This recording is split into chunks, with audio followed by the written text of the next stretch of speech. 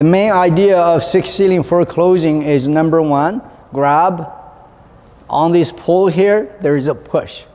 So you break it, like I was saying, break the telephone book with thick paper, you have to tear it. That's number one. We've done that one. Number two is you do this, your opponent bends the elbow and changes into a vertical move so that now you are here. So the next move is you hold your this hand down here, use the right hand and push up like this. That's why the first move is like this. Second move, it looks like this. So you want to go like this here. So in our training, we just do this. Hold your left hand here. The right hand, try to go from the bottom. Go like this. One, two. I go sideways for you to see. You want to create this split. Now with this here. If you only go up and down, that's no good. Find a position low here. So here, see this one is fairly low, this is a little bit high. When you finish, it's like this. And then everything goes up. One, two, three, four, five, six, seven, eight, nine, ten. Imagine my, this is the weight. My hand is on the weight. And this is, I'll do it in this direction. If you're not careful, you're just doing, oh, you can't brush it off.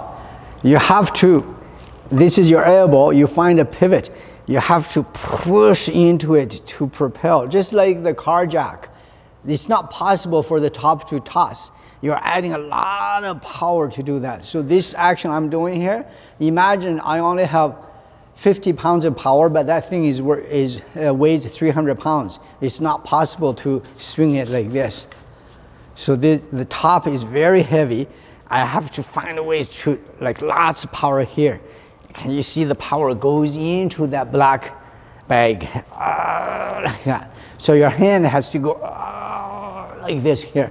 It's not possible to do this. The weight here, the elbow has to push into it. And then that's all I can do. Then I can do this, do this, do this. Here. Can you see the upward move, move of your hand is because every joint sequentially is moving downward to support it. It's not possible to do this. And yours is even more like exaggerated, it's like this. You are stretching out. We are condensing. Like screwing a screw is condensing it. It's a positive circle like this here. This is the positive circle.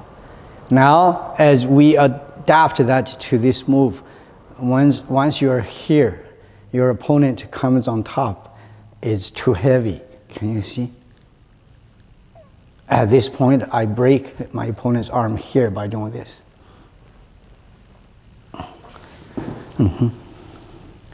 The original one is by this time I go to this time it's by this time here I go, uh, can you see sink here?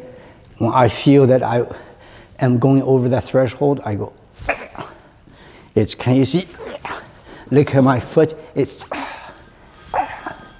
into that. It's not upward.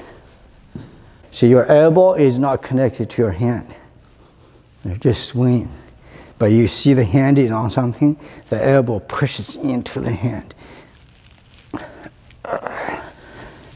And then did not work, it pushes downward into the hand.